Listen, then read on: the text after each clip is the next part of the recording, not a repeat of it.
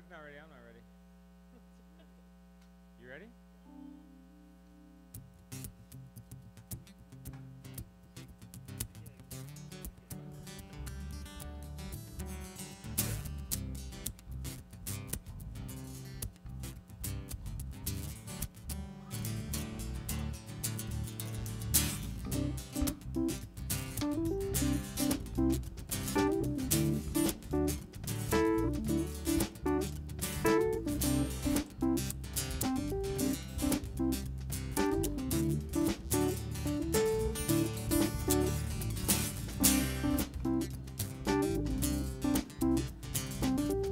hey, everybody, welcome to Roots. My name is Travis. I'm one of the pastors. Will you stand with us as we begin by lifting up our voices, singing together in worship to Jesus? Amen.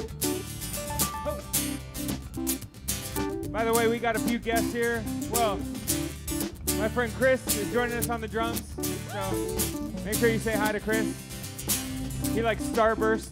So if you have any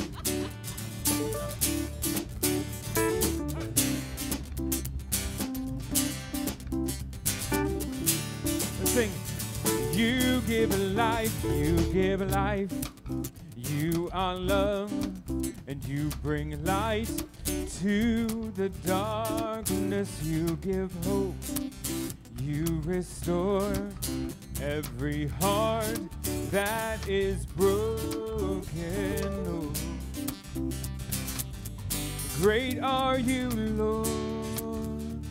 Sing, you give a life, you give a life.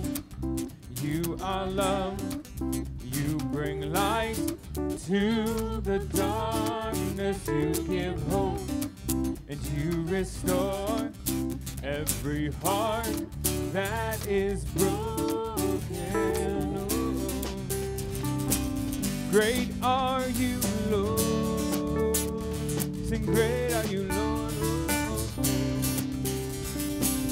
Great are you, Lord. It's your breath in our lungs. So we pour out our praise. We pour out our praise. It's your breath in our lungs. So we pour out our praise to you only. Great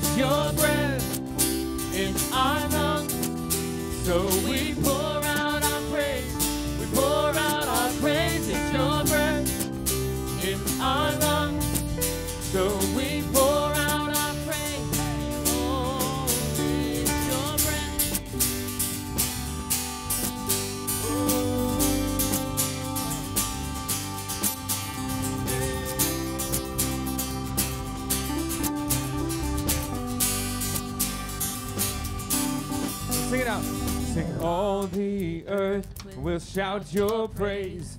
Our hearts will cry, and these bones will sing that great are you, Lord. Well, all the earth will shout your praise. Our hearts will cry, these bones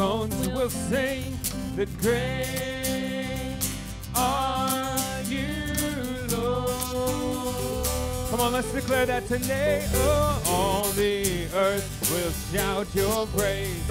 Our hearts will cry, these bones will sing the great are you, Lord.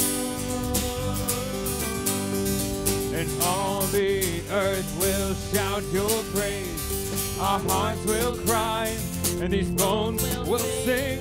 The great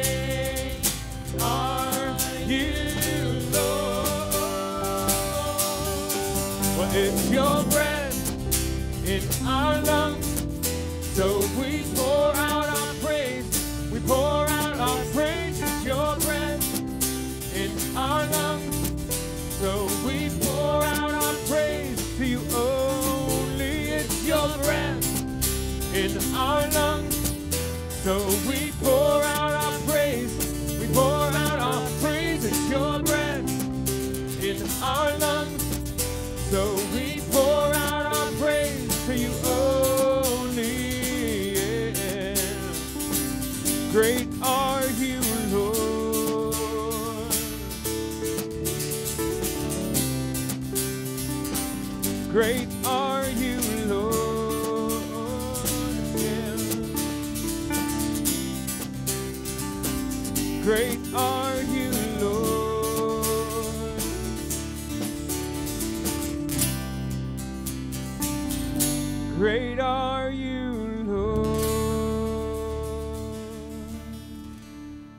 Lord, we surrender all this to you. We ask that you would inhabit your, uh, the praises of your people, that you would uh, be honored and glorified as we worship together today. In Christ we pray. Amen. Amen. You can have a seat. Hey, again, welcome to Roots. My name is Travis, and uh, it is awesome to have you here. If you are here for the first time or uh, you're, you're newer to Roots, we want to let you know of a few things that are going on. One of the ways that we communicate is via the email machine, the, the Google machine. And so uh, please drop your name on a card. Uh, with that, we have, a, we have a gift that we'd like to send home with you a, a coffee cup. Or for some of you who don't drink coffee, I would say it's a, a perfect ice cream cup. Like, it's a good amount of ice cream, and uh, you know, and if you, if you, as you're eating it, if you get to the end and you just fill it back up a second time, it seems reasonable. So, so uh, yeah, grab a grab a cup, and uh, also in the back, if you came today and you don't have a Bible, uh, we have some ESV thin line Bibles back there. Uh, they're great Bibles, and they, they could they last a, a really long time. They're, they're good Bibles, and they're free to you to take to use. Uh, we often don't put we don't put many scripture references. We put the reference on the screen, but we don't put the words. And part of that's intentional. We want people to have a Bible in their hands, and we want you to take it home and, and read it and use it. Okay? Amen. You got you got me. So please do that. Uh, you know, this morning. Uh, so one of the reasons that Chris is playing with us, and, and Sarah sings with us all the time, though, so she doesn't really count. Uh, but uh, this band, we got to uh, lead worship this morning at for Gateway, and the reason why that is significant is that it wasn't in this room; it was in uh, the new sanctuary. So we got to be a part of the grand opening. I'd like to say that we are the ones that made it grand. Amen. Yeah. if you agree, will you clap your hands? Yeah. All right. All right. All right. Yeah, yeah, we got to go back and watch that again. I only messed up one time, and it was kind of a big mess up, though, to be honest. I was like, "Is it my turn?" And they're like, "Yeah, it's your turn." I was like, "Oh, sorry." so um, we plan to move into that space uh, on March 6th. Uh, part of it is that you know we live in the house, but it's their car and it's brand new. I don't want to dent the doors. You know what I'm saying? Like, let them dent the doors up first a little bit, and then we can move in and uh, spill coffee I- in between, and you know get some get some Cheez-Its and goldfish between the seats, you know. Um, but here's here's one thing. If you were around not last week but the week before, we had a special uh, what we call the table gathering, where we put tables out. We actually baked bread. We actually uh, smashed some grapes, and we took communion together. And really, that that gathering uh, was two parts for me. One part really good, and one part really bad. I walked out really inspired and really dissatisfied at the same time. Really inspired to, to that because that communion was so significant, and really dissatisfied with what we currently do. Okay, um, and so I've had some conversations with some friends. Actually, these tables right here, uh, I was I, I didn't know they were coming today, but thank you, Darius. Uh, I know they were done, but we we talked this week about creating some new uh, tables so that we could take communion in the new space in a new way. So there are some significant changes coming. I just say uh, hold on to your seat a little bit. Be patient with us. Uh, next week, I, I think we may actually use these tables to, to uh, for communion. if not ne- this next week, it'll be uh, on the on the sixth when we make the move over. So uh, that's the plan. On on March sixth, we will be in that new space worshiping together. Cool. Any questions? Good. Let's move on. Uh, so right now, we uh, I want to invite you uh, to hit pause in your life. It's something that I feel like is, is significant because it's part of the reason, or it's part of the thing that happens every Sunday when we gather, right?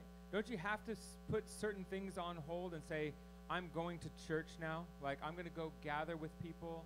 I'm going to go worship Jesus as a, uh, you know, as an individual or as part of a family.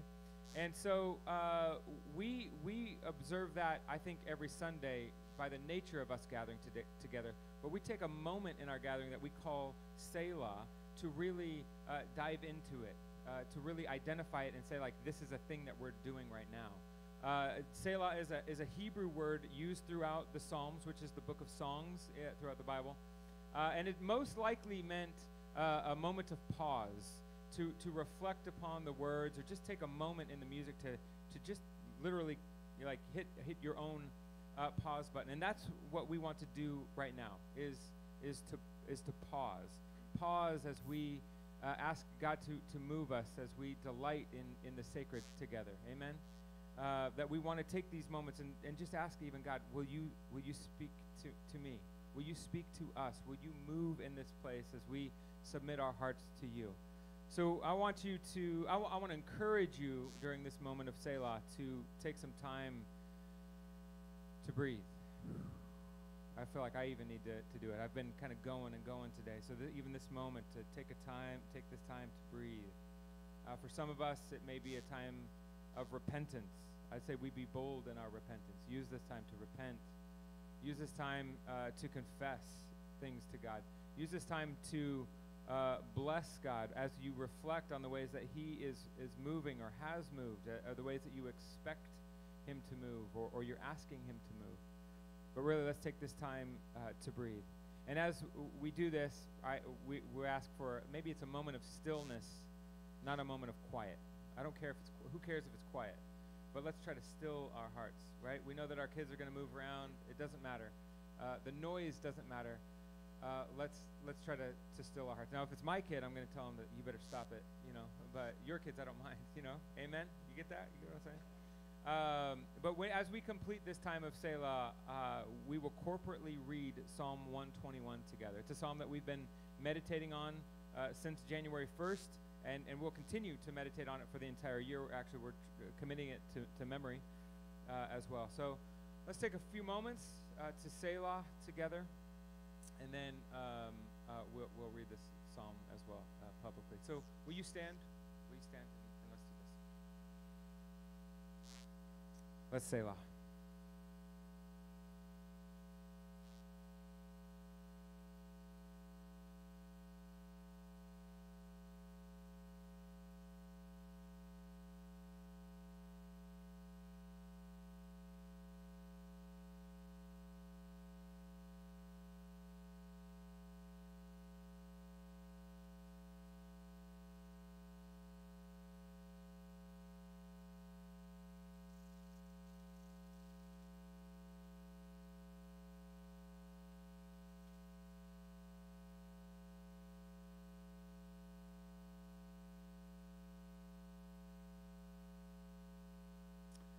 Declare uh, Psalm 121 with me?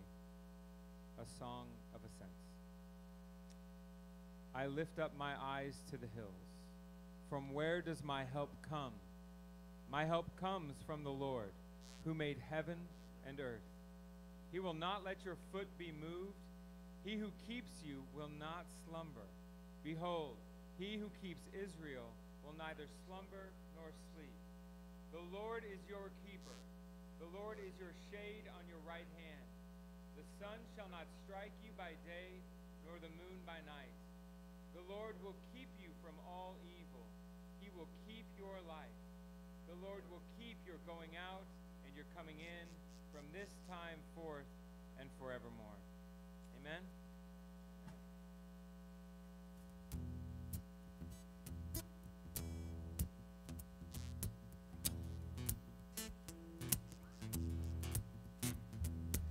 Stand amazed in the presence of Jesus the Nazarene and wonder how he could love me, a sinner condemned unclean. Let's sing it again. I stand amazed. I stand amazed in the presence of Jesus the Nazarene and wonder how he could love me, a sinner condemned unclean. Oh, how marvelous, how wonderful, and my song shall ever be. How marvelous, how wonderful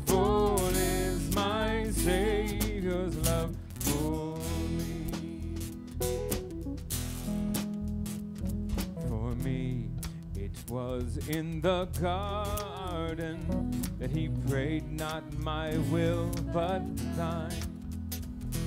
He had no tears for his own grief, but sweat drops of blood for mine. But he took my sins and my sorrows, and he made them his very own. The burden to Calvary, and he suffered and died.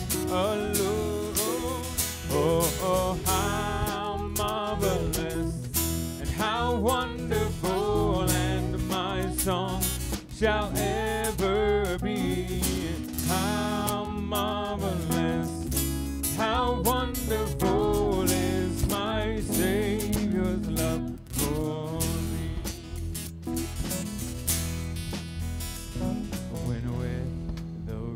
ransomed in glory, his face I at last shall see. Will be my joy through the ages to sing of his love for me. Come on. Oh, how marvelous and how wonderful,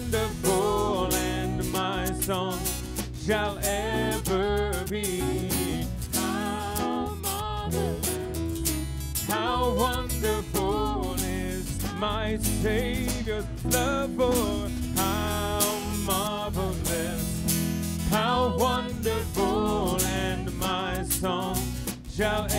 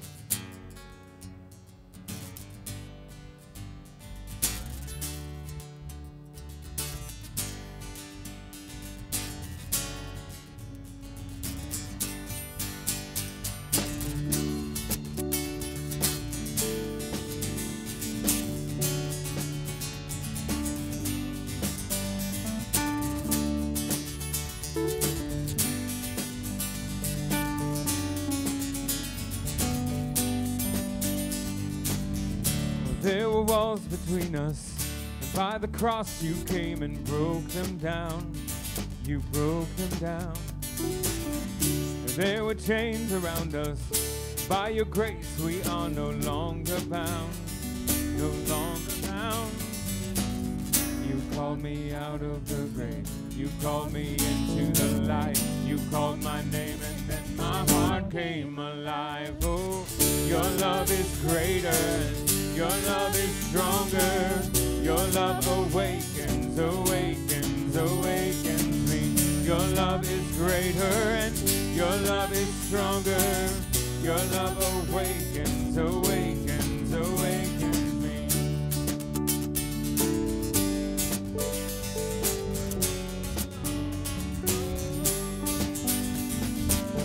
and feel the darkness shaking. All the dead are coming back to life. To life.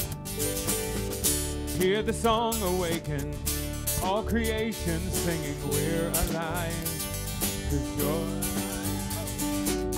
You called me out of the grave. You called me into the light. You called my name and then my heart came alive.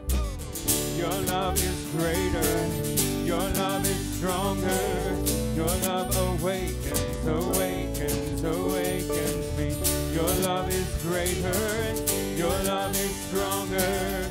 Your love awakens, awakens, awakens me. Oh, and what a love we found that can't hold us down. We shout it out, we're alive, cause you're alive, and what a love we found that can't hold us down. We shout it out, we're alive, cause you're alive, oh, a love we found that can't hold us down. We shout it out, we're alive, cause you're alive, oh, what a love we found that can't hold us down. We shout it out, we're alive, cause you're alive. Your love is greater and your love is stronger.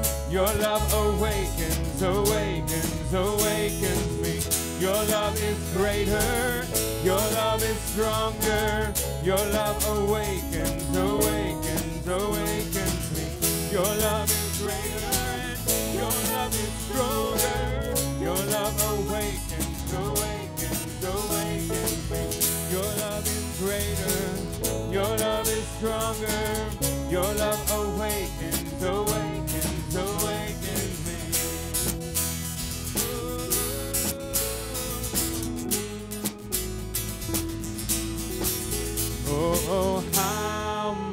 marvelous and how wonderful, and my song shall ever be. How marvelous, how wonderful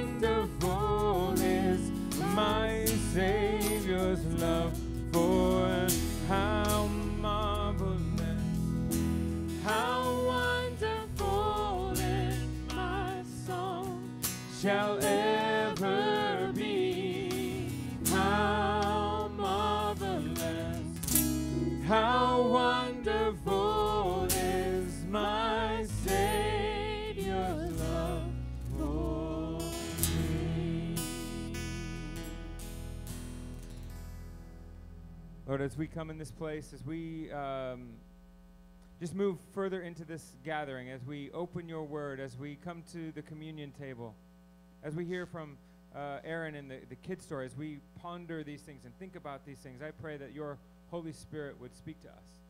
That we wouldn't uh, just put off the kid story till that's, that's for somebody else, but that we would listen in these moments and that we would respond to you as you call us, that we would be those who hear your words and obey, that we would be uh, growing and increasing as disciples in this life. And not just in this place, not just on Sundays or in our gospel communities, but with our families, with our coworkers, with our neighbors, with our, our extended families. Lord, I just pray that you would speak to us. And I guess we know that you're speaking to us, Lord. I pray that we would listen. pray that we would listen. Be with us today. We love you, Jesus. Amen. You can have a seat. Hello, everyone. My name's Erin. If you don't know me, it's good to see you. So it's February, and it's kind of feels like almost the end of February, but we're finally moving on to the third and fourth verse of Psalm 121. So first, though, I think we should probably we're going to do the first one, the first two first, because we got to see if we know. it. We're going to add on every week. So let's do the first one together and try to remember our hand motions. It's been quite a few weeks. I lift up my eyes to the hills. From where does my help come? My help comes from the Lord who made heaven and earth. Good job. So, this is our, our new part. It says, He will not let your foot be moved. We're going to point up and say, He will not let your foot be moved. Can you guys try that with me? He will not let your foot be moved. We're pointing down to those feet. They're sure. Um, he who keeps you will not slumber. He who keeps you will not slumber. And then verse 4 says, Behold, he who keeps Israel will neither slumber nor sleep. We're going to say, Behold, he who keeps Israel will neither slumber nor sleep. Okay, I'm going to do it one more time, and you can try it the best you can with me because I'm still learning it too. He will not let your foot be moved. He who keeps you will not slumber. Behold, he who keeps Israel will neither slumber nor sleep. Good job, you guys. So be working on that. See if you can start all the way at verse 1 and go all the way through verse 4. Raise your hand if you think you have verse 1 and 2 down by memory. Okay, I want you, those of you who think you have it, after service to come see me because there's like seven pom poms left in the little box that need to be moved to the jar. So come on, you guys. We, I think we keep forgetting to do this. So come find me, okay? So today's story is from, it's called The Singer. It's from the Sermon on the Mount. I love this one. Wherever Jesus went, lots of people went too. They loved being near him. Old people, young people, all kinds of people came to see Jesus. Sick people, well people, happy people, sad people, and worried people. Lots of them worrying about lots of things. What if we don't have enough food or clothes, or suppose we run out of money?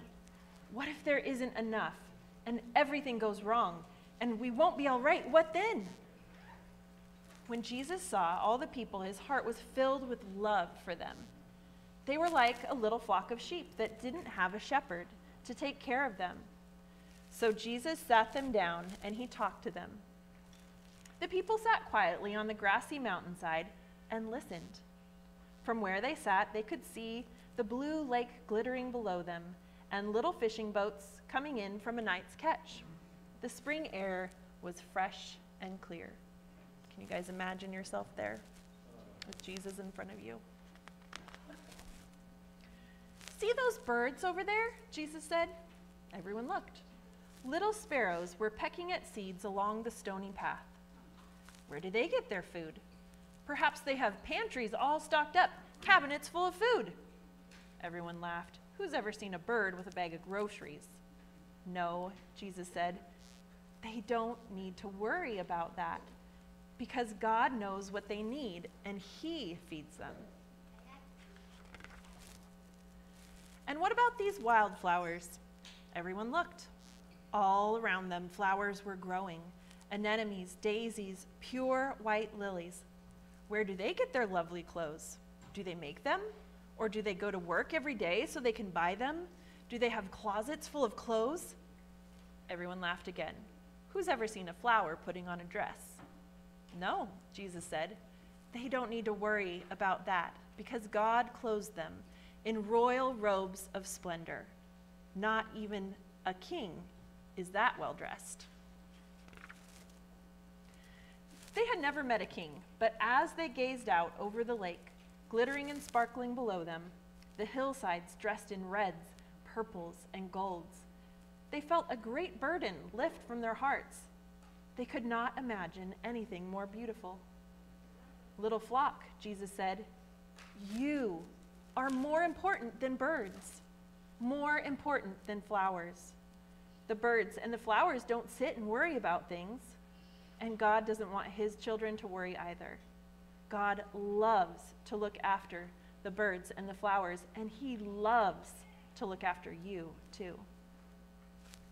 Jesus knew that God would always love and watch over the world he had made, everything in it birds, flowers, trees, animals, everything. And most of all, his children.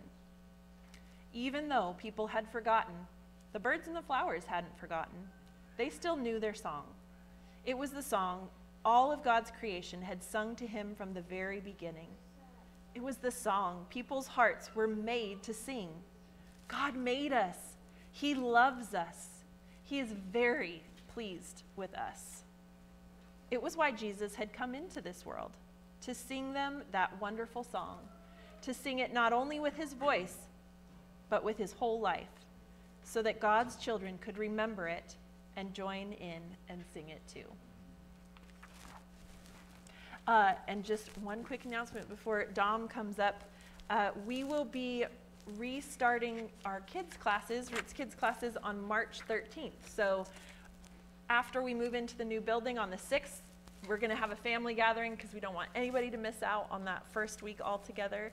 And then on the 13th, our hope is that our kids' classes will be restarted. So I'm super excited for that. And we've loved having you kids in the gathering, but we're excited to have you in class too. Okay, Dom, come on up.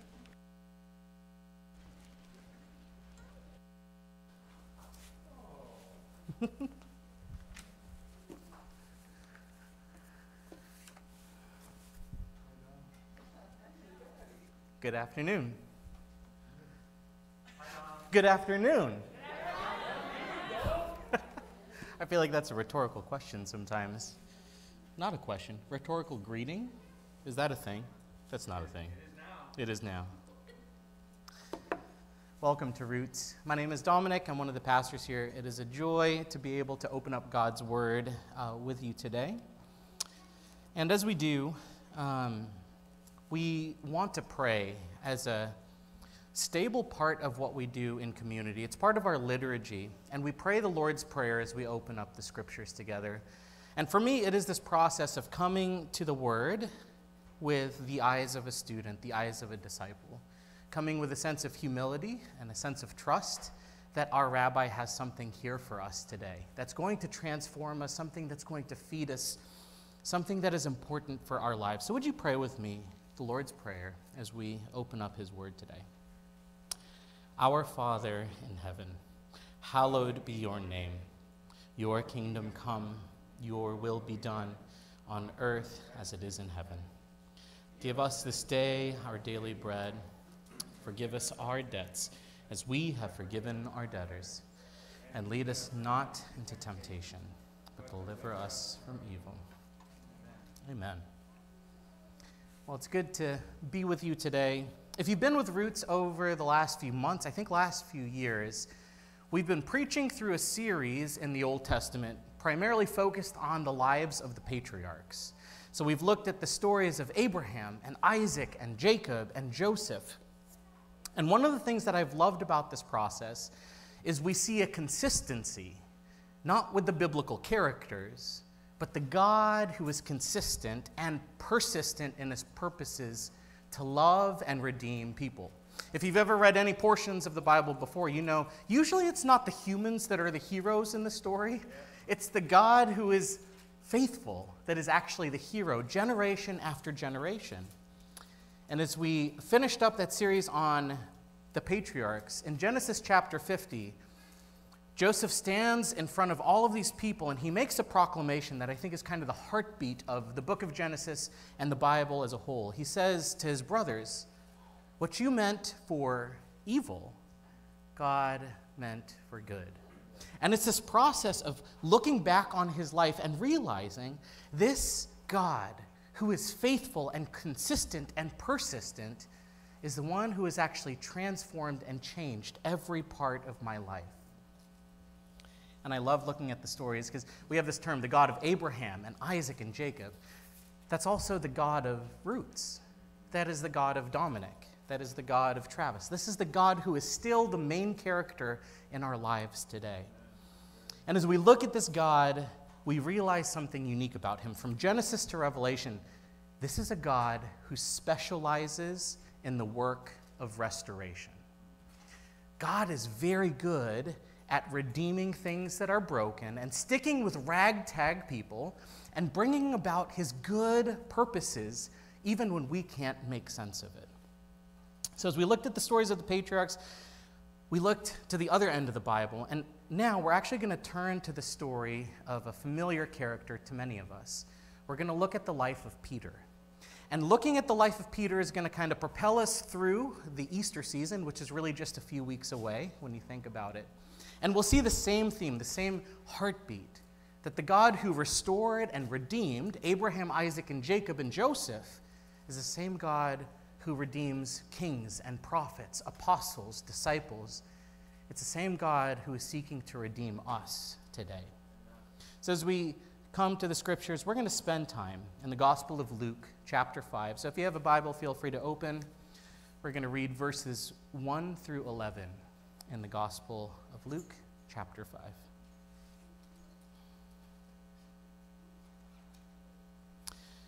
On one occasion, when the crowd was pressing in on him to hear the word of God, he was standing by the lake of Gennesaret.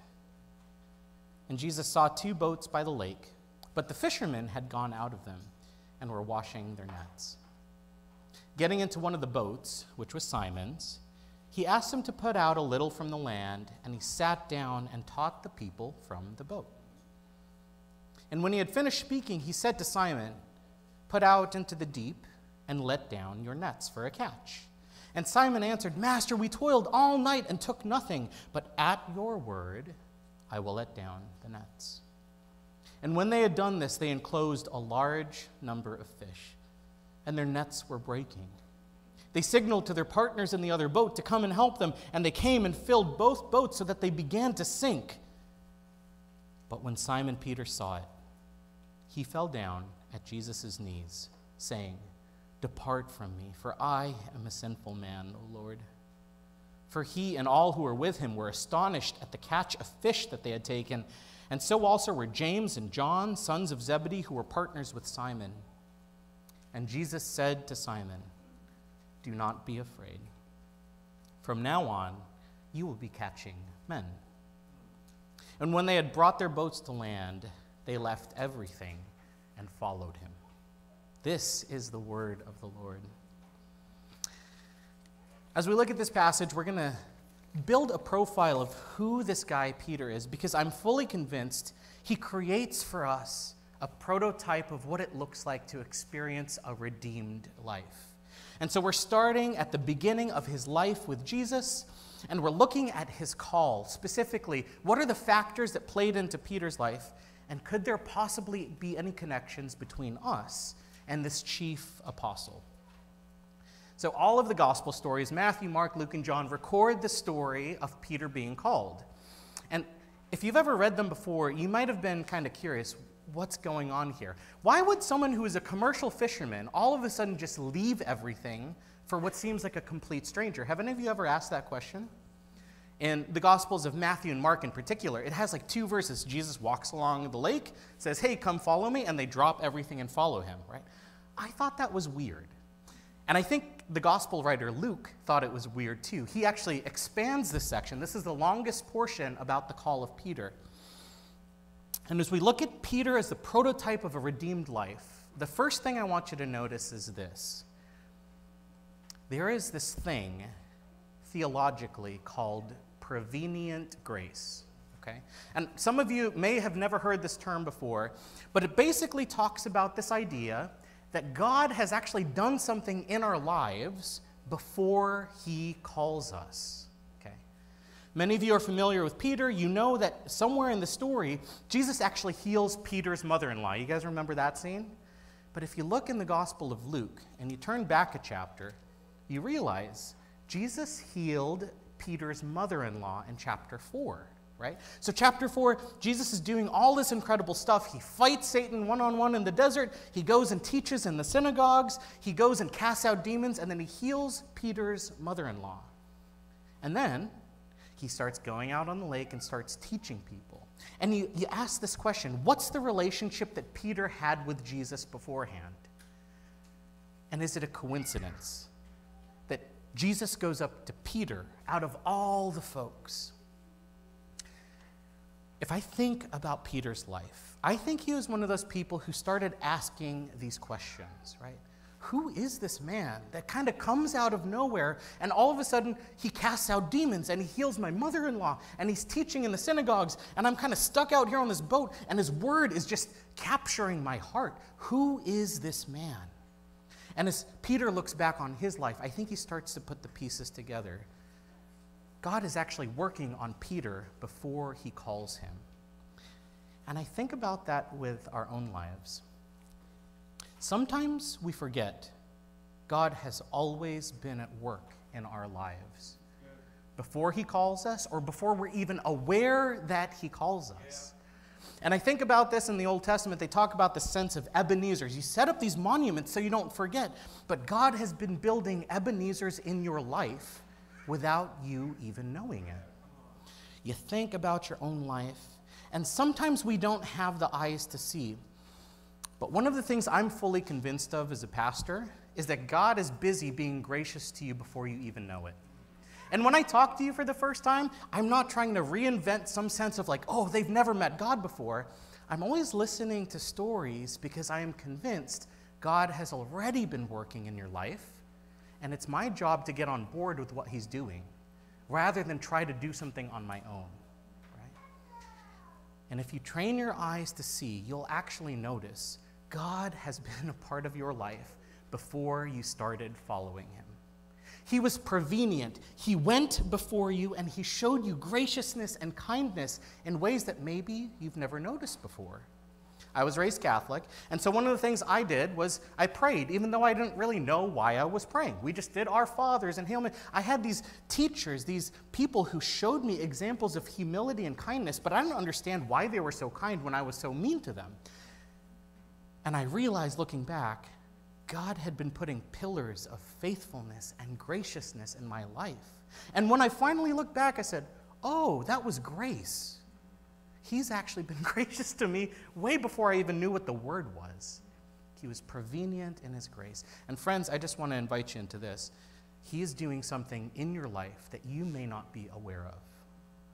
And the things that we look in our society and we say, oh, what a funny coincidence. I am fully convinced there are no coincidences with God. I am fully convinced that God is so meticulous and creative and wise and playful that He's actually put events into your life where He's showing you grace without you even knowing it. And in Peter's life, the healing of the mother in law, all of these questions start to build a foundation so that when Jesus asks him to do things, they're not complete strangers. Peter feels a certain connection to Jesus already. So Jesus asks him, Go out into this boat. And based on the relationship Peter already has with him, he says, Okay, sure, whatever, right? So he goes out, pushes out on the boat. He's tired from a long day. But I think Peter's picking up this sense of there's a grace that's already happened. At the very least, I owe him something because he healed my mother in law, but I'm going to follow through. And then the next thing that we see here in this profile of a redeemed life after Jesus teaches, he turns to Peter, and I think it's striking. We don't actually hear what uh, Jesus is teaching, but he says to Peter, Now, go out into the deep and cast down your net. And we think, oh, what a cool, beautiful, romantic idea. But let me spell out what that actually felt like for Peter. He had fished all night long, and he was exhausted and disappointed, and he had just finished cleaning his nets right? That's actually a laborious thing. And Jesus says, hey, let's go have fun and go fishing again. And Peter, you can almost hear maybe a sense of sarcasm. Master, we toiled all night and we took nothing, right? And he's looking at this Jesus. He's like, okay, you're a carpenter's son. What do you know about fishing? They're not even here right now. Why are you telling me to do crazy things? And then he says something beautiful. But at your word, I will let down the nets. And you think, huh, Peter respects Jesus' word, even though he's exhausted, even though it doesn't make sense to him. And I can imagine, you know, Peter's looking at his brother Andrew, and you know how people talk with their eyes without saying anything verbally? It's like the big eyes. It's like, are we going to do this? Who is this guy? Are we, are we going to really cast our nets back in? And eventually they come to this decision together, but there is a trepidation because Peter has to let go of this expectation. You know what his expectations are? I want to go to sleep. I am tired. This is not what we do, Jesus. And I think about that. I experience that sometimes when I come into work at Portland Rescue Mission. I start my day at 6 a.m., and I'm relieving the guys of the night shift. and they are exhausted. And some nights are really, really tough and chaotic, and I can tell because when I get there on the chaotic nights, the shift reports are ready to be sent out, the coffee cups are cleaned. I can almost smell the anxiety and the afterburn of Red Bull and coffee as they've just survived the night, right? They're ready to go home. And I imagine just waltzing in being like, hey, why don't you stay on for a double shift and we'll do it all again, right? And I think whatever look they would give to me is whatever look Peter gave to Jesus. Are you crazy? We're not doing, or imagine, different station in life, you've had a tough 16 hours with your kids. All day long, they're not listening, they're fighting with each other, they're not eating anything, they have a hard time going to sleep, and you finally get them to sleep. And Jesus comes in with a pot and a pan, and he's about to bang them, and he says, Let's play with them again. And I love Jesus. But if he did that, I would look at him and I would say, Bro, you do you, but if you wake up these kids, you put them back to sleep, right? We have our expectations in our head, and Jesus comes kind of waltzing in, and we think, what sort of experience, what sort of person is this that tells me, I just cleaned my nets, I don't want to go back out into the deep? This isn't just a five minute excursion. But I think Peter's done the work to say, wow, at Jesus' word, he cast out demons. At Jesus' word, he healed my mother in law. And maybe at his word, there's something there for me. And this profile of being a redeemed person is realizing God has done amazing things, whether you're aware of them or not. And maybe when he's calling you into something, he's asking you to act in faith, even though you don't have the full picture. And to do that requires some hard things. It means letting go of your expectations of what your life will be like, letting go of your expectation that maybe you won't get as much sleep tonight. I know this. This is a hard one because we had children who didn't sleep letting go of the expectation that life should go in this way, letting go of the idea this is what my family is and what it's going to be, letting go of the idea I live in this house and this is what we do, this is the career that I'm moving in. Jesus, don't speak to me about that because I wanted to go on this track. Whatever it is for you, realize maybe God's prodding and poking and asking you to do things that don't make sense. But in doing so, Peter witnesses a miracle. He throws the net into the water. You can almost, I, I, I picture him with a smirk on his face, like, okay, Jesus, what are you going to do? And then all of a sudden, these schools of fish start filling up the nets, so much so he can't even pull it up. He calls his friends over. The boats are starting to sink. And there is this moment where he realizes, oh my goodness, look at all of this fish, right? He is a fisherman. He doesn't just see fish flopping around, he sees this is months worth of pay. Thank you, Jesus. I can go on a vacation. I can finally buy good food. I can buy the medication. But something unique happens when he acts in faith. He sees what happens in those questions he's asking Who is this man that can cast out demons and rebuke a fever? And now he controls creation. And listen to what Peter says. When Peter saw all of what happened, he falls to Jesus' knees and he says, Depart from me, for I am a sinful man, O Lord. Peter feels a sense of conviction. And I think that that's the third thing that we see in a life of a person who is redeemed. They look beyond the temporal gifts and they realize I am actually not just standing here with a bunch of fish, I am actually standing on sacred ground because the God of the universe has met me here. This is not a coincidence. This is a miracle that is unrivaled to anything Peter has ever experienced in his life. This is a sacred moment, and we talked about this. Trav preached on gathering to delight in the sacred, where we come in contact with something that is not of this world. And what happens to Peter is significant. He feels conviction. And that's a hard thing to preach, I'll just say that. It's fun to preach about things that are light and easy, but when he looks at Jesus and he says, Oh my gosh, you are actually the God of all creation. And the first thing off his lips, please stay away from me, I am sinful. There is something important about that sense of conviction. But I'm fully convinced of this. To experience the life of sacredness where we touch the living God, we have to pass through this door of conviction of our sin. We have to grow in this awareness that I have a reverent fear before this God who holds my breath in his hand. But our culture does not value conviction. Our culture values comfort.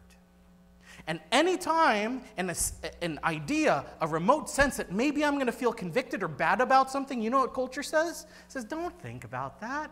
Just look over here. Compare your life with this celebrity. Their life is falling apart. Doesn't that make you feel a little bit more comfortable? Right? Or they say, hey, forget about that. Why don't you watch this next YouTube video about cats? Right? And you're like, huh? Okay. And you watch the cats, and all of a sudden, all your discomfort goes away. Your conviction goes away, and you're just amused into oblivion, right? Culture is really good at giving us a fork in the road where either we can feel the, this discomfort of conviction or we can feel comfort. But if we take this road of comfort, we will never experience the sacred. We will never fully acknowledge the difference between us and the holy living God. And it's only through this door of discomfort that we can actually begin to see God for who He is. It is a very taboo idea to talk about the conviction of sin. But I want to say this it is okay to feel convicted over your sin because it's real if we don't acknowledge the realness of who we are, we're not bringing our true selves before God. And like Peter, we have the sense that's almost a knee jerk reaction. And we've seen this before with other biblical characters, haven't we? When they stand in the presence of God, what's the first thing that jumps out of their mouth, right? So Moses is talking to the burning bush. He realizes, oh my goodness, this is Yahweh. And he takes off his sandals and he realizes, I am not like you. This is holy ground. Or you think about the prophet Isaiah, who sees the throne in heaven surrounded by cherubims, and the first thing out of his mouth, Oh God, help me, I'm dead, because I am a sinful person living in a sinful land. I cannot be here, right? Or you look at Ezekiel, he sees the glory of God and he falls to the ground as if he's dead because he's convicted of his sin. The same God who is gracious and kind is also the God who wields all power and authority. It is a God who is holy. And if you don't see that, you're not actually seeing the same God that Peter saw. God, I am sinful. Please depart from me. So there's recognizing that God has been gracious, prevenient grace. There's a sense of acting in faith. There's uh, the idea that we allow ourselves to feel conviction as we see God. And one of the last things that we see here, which I think is so beautiful, is Jesus' response. First of all, he doesn't sweep Peter's discomfort under the rug. When I read this and I think, oh, he feels so bad, one of my things is I want to say, oh, it's okay, Peter. You're fine. Let's look at all this fish. Look at them flopping. I just want to change the subject because I'm so uncomfortable. And Jesus doesn't change the subject. He allows Peter to realize his own sinfulness, and then he says something unique Don't be afraid. From now on, you will be catching men. And you think about that, that's a really strange idea, right? What do you mean you're going to catch men? And I think when Jesus gives Peter this offer, there is something unique that happens. Jesus is looking at Peter, this full package of who this man is, this hot headed person who just wants to go to sleep right now, but he realizes these pieces are moving together. And Jesus looks at him and he says, I want all of you. You used to fish for these things, but now you're going to capture men and women's souls for me. You used to fish for these animals, but now I'm going to transmute your skills and your abilities and your experiences. You still get to be a fisherman, but you're my fisherman now. When we look at the story of the redemption that happens in Peter's life, I love the reality that it's not actually a coincidence. I don't think Jesus had like this great one liner in his head, like, I need to find a fisherman so I can say, You're going to catch souls for me. I think he actually looks at Peter and he says, I want all of you, and I see you're so tied with your identity as a fisherman, and now you're my fisherman. Okay? And I think he looks at each one of us, and he has that same invitation. When he looks at us, he realizes it's not a coincidence that we are the people that we are. He was a fisherman, so now he will fish for Jesus. And if he looks at a teacher, he looks at them and he says, You can still have all your skills and gifts and talents, but now you're a teacher for me. He looks at people who are fastidious, note taking tax collectors, and he says, Matthew, you're mine. You're weird, you're quirky, and you're mine, right? And then, lo and behold, Matthew writes this really detailed account of what it looks like to follow Jesus from a Jewish perspective, right? And he looks at other people and he, he realizes there's something unique in them.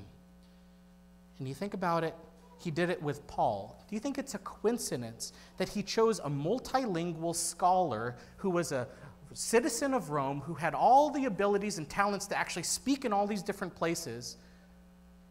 Or was that actually part of his grand plan? Did he actually randomly pick Luke, who was a physician who could actually document things really well and explain things with precision to create the Gospel of Luke and the book of Acts. It's not a coincidence. He chose these people because of who they were. And he chose Peter not because of his credentials, not because he was great, but because he was a person who could see Jesus for who he was. I look at roots and I think about this. To be a Christ follower doesn't mean to change who you are. It just changes the devotion of your heart and what you're doing. Right? Do you drive a bus? Cool. Can you drive a bus for Jesus? Are you a mechanic? Are you really good at fixing things? Guess what? You can do that for Jesus too. Are you an engineer? Do your skills bring you to this place where you can think thoroughly about how to make a sale, how to fix a product. Guess what? You can do that for Jesus too. He takes all the skills that exist here in this room and he transmutes them and redeems them for his kingdom. And it even goes beyond that. What's your station in life? Are you a parent? Did you know he wants you to parent for him? Are you single? Guess what? He wants that too. He wants you to be single for him. Are you retired? And you think, oh, I'm done. Guess what? He wants that too. He wants to utilize every fiber of who you are, your skills, and even your personality. I look at my two daughters, and they are like day and night sometimes. One is wild and crazy, able to jump off of things without knowing where she's going to land, and the other is so careful, so detail oriented. And I see Jesus watching them with this grin on his face and he says, Are you fun and silly? Guess what? You can be fun and silly for me. And he looks at others and he says, Are you a little bit more careful? Are you more measured? Guess what? I want that too. And as Jesus throws out this net and he says, I want all of you to participate with me, I want us to awaken to this idea. He wants to redeem every aspect of our lives. Whether we are silly, whether we are intellectual, whether we are hot headed, whether we like to move slowly, whether we are loud, whether we are quiet, Jesus wants all of that. And part of his redemption is taking the whole package and bringing it before him, where we can actually say, You know what's best. When Peter interacts with Jesus, I think he sees this fuller picture. He doesn't get lost with the fish. And as the story plays out, they bring the boats to the shore and they leave everything and follow him. What would it take for you to be convinced that Jesus has something better for you? What would it take for you to see or experience where you can lay down the expectations of how your life ought to be? and even to lay down the comforts of having a big cache of income, a certain way of life, a certain way of being seen, and say, Jesus, I think you actually know what's better for me. In our call, in our own lives, do we know how God is calling our hearts in our unique ways? He doesn't want you to look like Peter. He doesn't want you to look like me. He doesn't want you to look like Trav. He wants you to be who you really are because He created you just the way He wanted you to be so that you could contribute in a unique way to the kingdom of God. And as we look at the story of redemption, as we see this prototype in Peter, would we too join in this story? That the God who transformed the patriarchs, the God who spoke through the prophets and shaped the apostles, is still shaping us today. This is not some theology that existed 2,000 years ago across an ocean in a different language. This is the same God who is speaking to you now. He wants to invite you. He wants every part of you. There is no mistake, there is nothing in your past that disqualifies you from joining Him in this work. And Jesus, who specializes in redeeming dark things, even says, I don't want just the nice parts of your personality, I even want the darkness and the wounds. Because even those things I will use to build my kingdom a lot of the work that I do is in recovery. So, people who are getting out of drug and alcohol addiction. And one of the things I love most about that is that I don't have a great voice in that because I am not a peer mentor. The people who speak powerfully into the lives of people in addiction are the people who have found recovery themselves, right? Because even in their wounds and their healing, they can turn around and say, hey, I have something to offer you because I've been down this road before. And even the hardest, darkest parts that may bring you shame or discomfort, guess what? God wants that too. Because He redeems it and brings it to the forefront, and He says, This is how you'll build the kingdom with me. I had a professor, and he said it in a unique way Show me your greatest wounds, and I'll show you where God has called you to minister. There's a reality to that. And as I think about what Jesus is doing in our lives, I remember that as well. He took on a crazy amount of chaos and stress. He took on our wounds so he could be a real Savior to us. He is not unfamiliar with our suffering and our pain. He actually dwelt with us. He felt the frustration of what it felt like to be in this world. And yet, he still offers us something unique. He offers us grace and redemption. And so, as we come to the table today, I just want you to have this sense. It is not a coincidence that you are here. It is not a coincidence that we're coming to this table to receive his broken body and his shed blood. As you take these elements of bread and juice, I just want you to realize He's calling you to participate in building his kingdom. He wants you to commune with him, to experience him and his forgiveness and his grace and his transformation and his redemption because he wants all of you. He gave everything. He gave his life so that you could give your life back to him. So notice the grace Act in faith and trust. If you put the nets down into the deep, He has something for you. Feel the conviction of your sin and allow every part of your life to be redeemed by Him. I'm going to pray. We'll receive these elements together. So as you come up, um, there's these little packages. You take off the top, there's a wafer there, there's juice underneath. I encourage you to take these elements of communion together. And as you come up for communion, uh, the worship team will be here. They're going to continue to play some songs. I'm also going to be off on the corner over here to pray with anyone who would like prayer and support. As we think about this idea of being redeemed people, I just want you to know you're not in this alone. We are in this together. There is a transformation that occurs when we allow each other to pick up this load, when we look into the darkness of our lives and we say, How could God use this? I just want to affirm He has, and He can, and He will. So, as I'm praying up there, I encourage the gospel community leaders come up, join me as we pray as a community.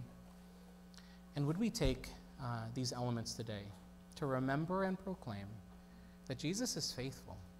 There is nothing outside of his plan, and even the darkness of the cross, he has redeemed for our good. Would we surrender to that truth? Would we celebrate that? Let's pray.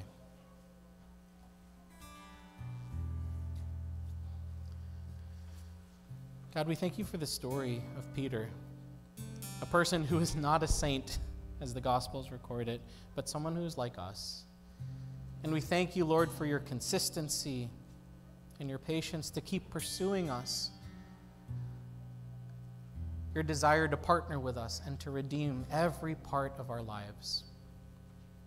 And Father, as we receive the gift of your Son through this communion today, would we know that you are a God who brings new life and restoration to things that are broken.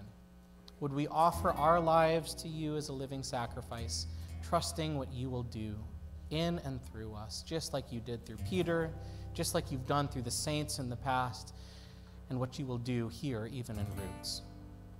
We love you. We act in faith now and trust you as we go into the deep, as we cast our nets, and we trust you to transform us. We pray these things in Jesus' name. Amen. The tables are open. Come on up.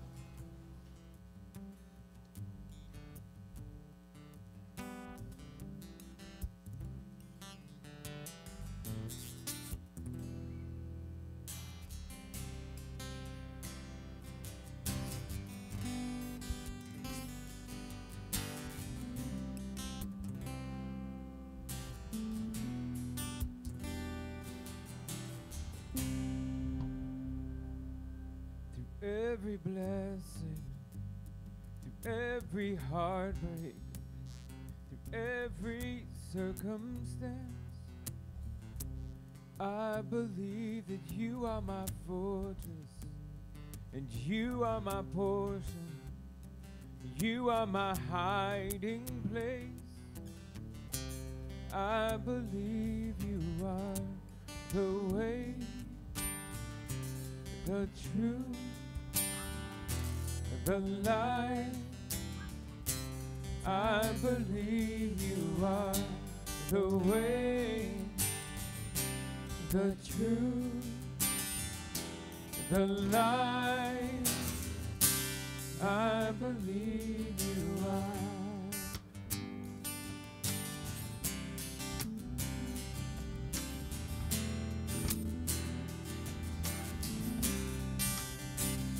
through every battle, through every heartbreak, through every circumstance.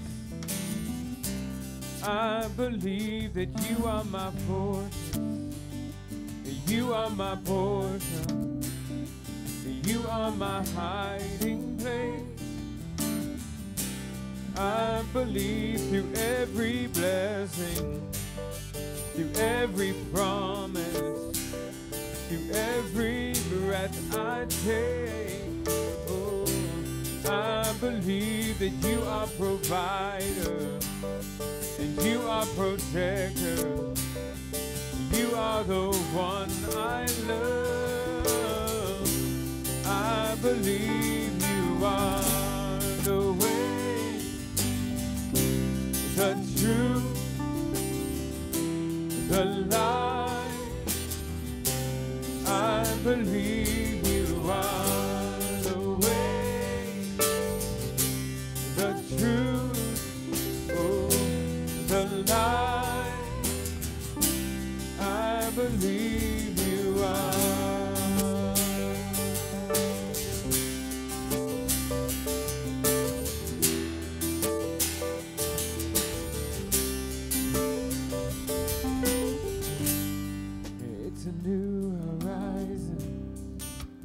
set on you.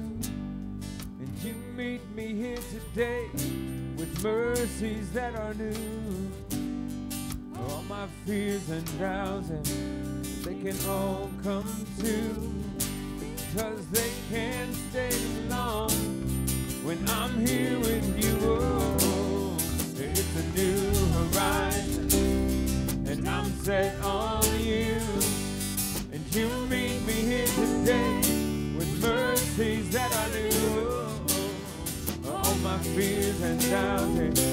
they can all come true because they can't stay long.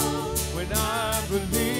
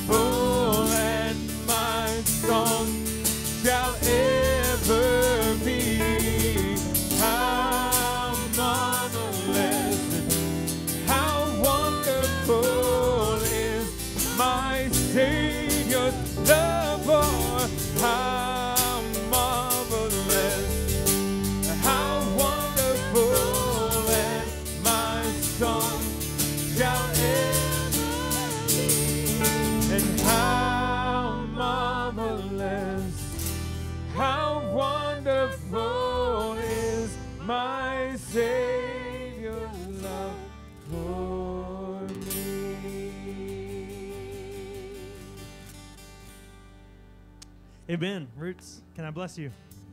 May the Lord bless you. May the Lord, who was pursuing you with grace long before you ever recognized it, may he now give you fresh grace.